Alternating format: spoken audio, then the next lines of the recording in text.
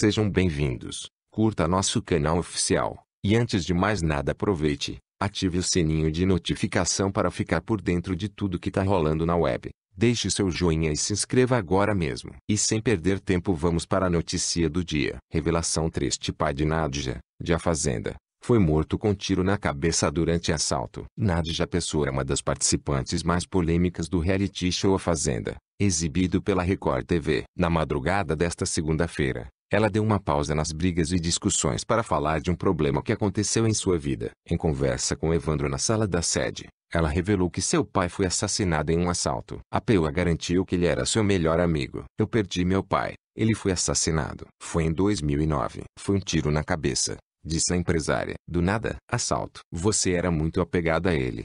Questionou o humorista. Nad já fez que sim com a cabeça e respondeu, dando a entender que foi um assalto. Ele era meu meu melhor amigo, afirmou. É que você é muito educada. Ninguém percebe isso. O seu tom de falar baixo, você tem toda uma educação. O jeito que você se arruma, se maquia, se veste. Você não é nem um pouco maloqueira. Tem uma coisa de boa educação que dá para para perceber, comentou o comediante. Minha mãe me educou muito bem a respeitar o próximo, explicou. Nadja Pessoa ficou conhecida nacionalmente no ano passado quando participou com seu esposo, o cantor de Black, do reality show Power Couple. Seu jeito polêmico fez com que ela fosse convidada pela Record TV para participar de A Fazenda. A emissora deve estar feliz com o resultado. A Fazenda 10 vem apresentando bons índices de audiência e muito se deve às brigas causadas por Nadja. Ela se desentendeu com praticamente todos os participantes. Depois da eliminação da Ana Paula, sua maior rival dentro da casa é Gabi Padro. E aí, o que você achou? Deixe seu comentário. Obrigado.